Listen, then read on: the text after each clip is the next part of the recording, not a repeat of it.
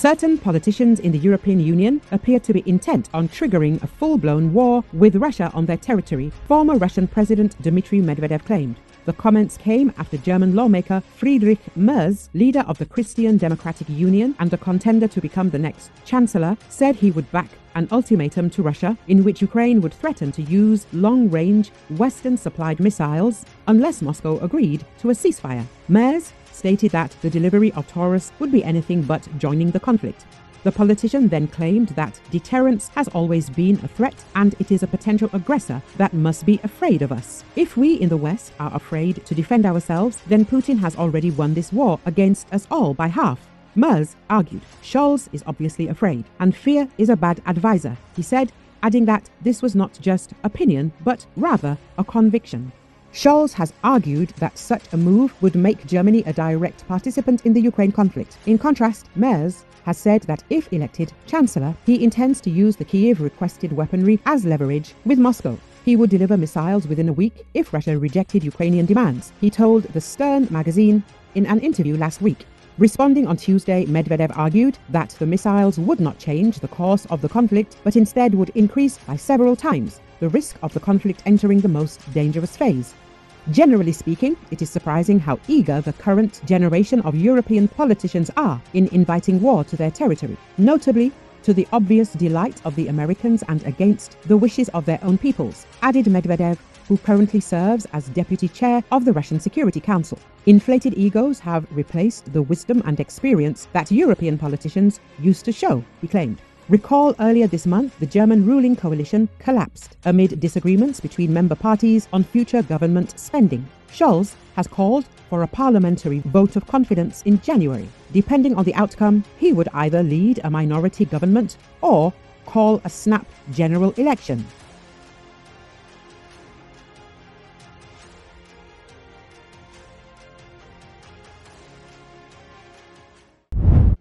Baikova Valentina and Cherednik Tatiana are pensioners from the Kursk region abandoned by the Russian authorities. Ukrainian soldiers evacuated the women to Sudza. Their villages were bombed by the Russians. They say if it were not for the Ukrainian armed forces, they would have died of hunger. It was the Ukrainian side that provided water and food, reports Freedom media outlet. Cherednik Tatiana Sergeyevna says that she currently lives in a boarding school in Sudza, where she was taken by Ukrainian soldiers to save her from shelling. We are alive, but our village is gone. We are now in Sudza, in a boarding school. The Ukrainians took us out, for which we are very grateful. When everything is over, I will call you back. Tatiana Sergeyevna says in a video message. Another resident of the Kursk region, Valentina Vasilievna Baikova, tells us that her native village of Lebedevka was destroyed by Russian troops. The houses were destroyed. She cannot return there. She is looking for her son to take her from the boarding school where she was taken by the Ukrainian military. Son, Maxim, Olga, grandchildren, Nikita and Sachka. Please ask for a green corridor. We have nowhere to live in Lebedevka. The village was bombed by our own Russian troops. Thanks to the Ukrainian military, who supported us for three months, and we did not die of hunger. Now I am in a boarding school in Sudza. We were placed here temporarily. And then where? We cannot return to Lebedevka. And at such an age, starting from scratch is very difficult. Please contact the Russian government, Putin. Let him remember about the Kursk region, that there are many people here at the border. Why did everyone decide that we went missing? Please contact the governor of the Kursk region. Make a statement to him. What is happening to the people? What are they doing here to us? Valentina Vasilievna laments. She also noted that she was able to survive in such conditions only thanks to the Ukrainian military. Thanks to the Ukrainians. They brought us humanitarian aid and water, absolutely everything. That's why we survived. Thanks to them, I am here before you. Everyone, please ask for a green corridor so that we can be taken out of here. We have nowhere to live here because Russian troops have bombed everything emphasized a resident of Lebedivka, which was destroyed by the Russian troops, Freedom reports.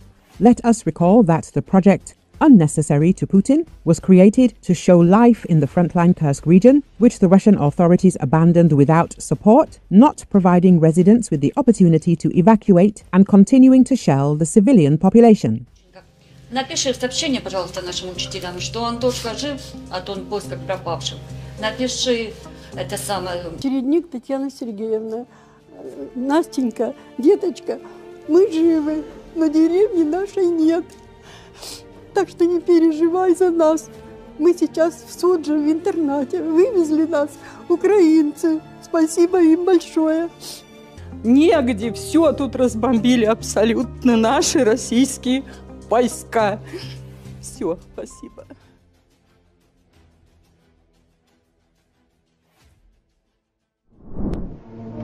Footage has been released, showing the evacuation from the siege of 35 servicemen of the Amidoid unit under the Ukrainian Territorial Defense Forces 169th Brigade.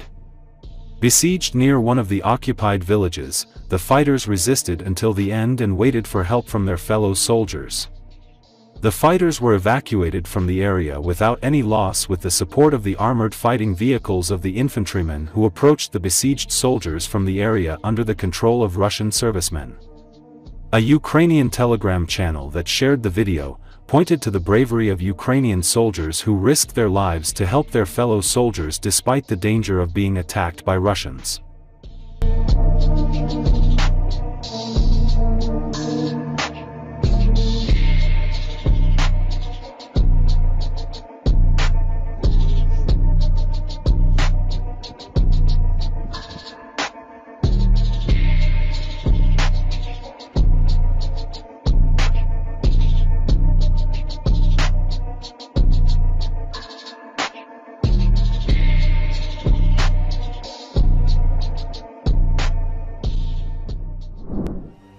Special Operations Forces fighters conducted a raid on the enemy rear in the Kursk region. The video was released by the Special Operations Forces Command of the Armed Forces of Ukraine. It is reported that as a result of successful actions behind enemy lines, SOF soldiers of the Armed Forces of Ukraine destroyed 14 occupiers and captured 3. Judging by the footage released on video, the special forces managed to sneak into the forest where the occupiers were located and carry out a surprise attack. Camouflage robes were used for additional camouflage. Taking advantage of the surprise, two occupiers were captured right in their shelter. Another was wounded in the shooting battle and decided to surrender. The use of drones for coordination is a common practice for special operations forces, and not only commercial drones but also specialized military developments are used for this purpose.